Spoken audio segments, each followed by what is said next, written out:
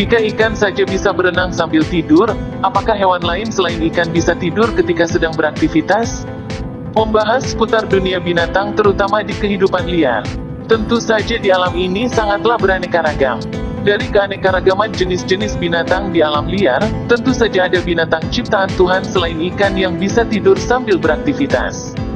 Binatang tersebut adalah frigate bird atau dalam bahasa Indonesia yaitu burung cikalang. Cikalang merupakan suatu keluarga dari burung laut yang ditemukan di sepanjang wilayah samudera tropis dan subtropis. Lima jenis burung ini yang masih hidup diklasifikasikan ke dalam satu marga yaitu fregata. Di usia berapakah kalian tahu bahwa burung cikalang atau frigate bird ini mampu tidur ketika sedang terbang di ketinggian? Admin harap sudah pada tahu ya. Dan jika belum tahu mari kita simak penjelasan dalam video ini. Manusia rata-rata menghabiskan waktunya di darat, kecuali para nelayan atau para seluncur pantai dan para pekerja di sebuah pelayaran. Tentunya dengan aktivitas kita di darat sangat jarang menjumpai kawanan maupun kelompok burung cikalang tersebut. Selain mampu tidur ketika sedang terbang, burung cikalang terkenal sebagai burung bajak laut sebab mereka terkenal suka merampas makanan dari burung lain. Ternyata burung juga ada yang bermental preman, salah satu contohnya burung cikalang. Mereka menunjukkan perilaku kleptoparasitisme.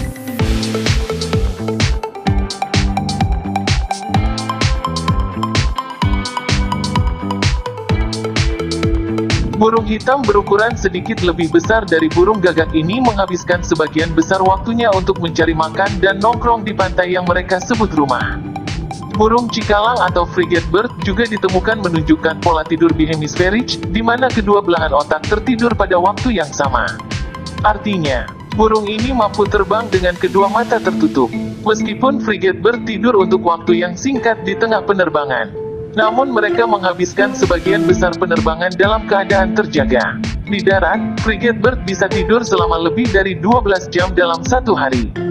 Namun saat terbang, mereka menghabiskan kurang dari 3% waktu mereka untuk tidur, rata-rata tidur sekitar 42 menit per hari. Tidur di tengah penerbangan juga terjadi hampir secara eksklusif di malam hari meskipun burung cikalang ketika di darat dapat tidur di siang hari. Para peneliti misalnya seperti Rattenbach dan timnya sempat kebingungan dan bertanya, kenapa burung cikalang bisa terbang berhari-hari?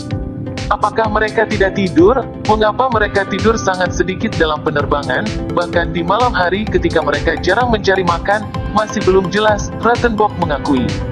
Mengapa kita, dan banyak hewan lain, menderita secara dramatis karena kurang tidur, sedangkan beberapa burung mampu melakukan adaptasi dengan waktu tidur yang jauh lebih sedikit.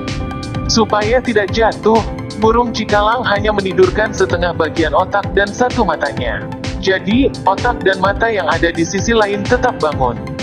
Otak dan mata yang bangun inilah yang membuat mereka tetap terbang dan tidak bertabrakan dengan burung lain di udara. Saat menidurkan setengah otaknya, burung cikalang akan terbang berputar mengikuti arus udara yang ada di sekitarnya. Di sisi lain, burung cikalang juga mampu melakukan tidur REM. Seperti pada hewan pada umumnya yang juga mampu melakukan tidur REM. Namun tidur REM yang dilakukan burung cikalang ini sangat berbeda dengan hewan lain yaitu durasinya hanya hitungan detik. Saat tidur REM, otot yang tenang hanya otot kepala saja. Sedangkan otot yang lain tetap seperti biasa.